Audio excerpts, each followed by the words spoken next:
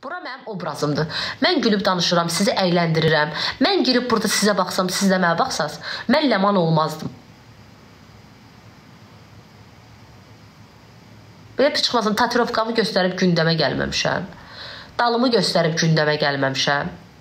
Gedib cəmaatın oğlanları ilə kafedə oturub pivə içmirəm. Sonra da özümü burada oturub tərbiyəli ana kimi göstərmirəm.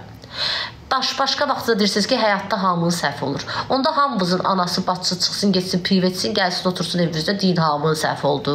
Elə şey olur. Səhvə baxır, nə səhv eləyirlər. Hər səhvi bağışlamaq olmur. Əzizim.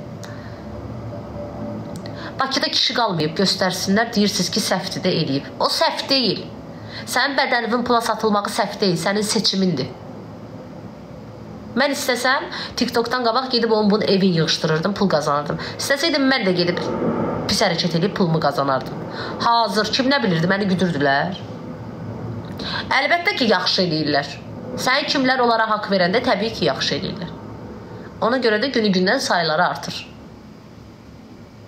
Mən poxumu yemirəm, yedizdirirəm. Bəzi boynu yoğun kişilər elələrinin sayını artırır. Evində arvadı, uşağı ac olanlar gedib bənkdən pul götürüb elələrini gidizdirir.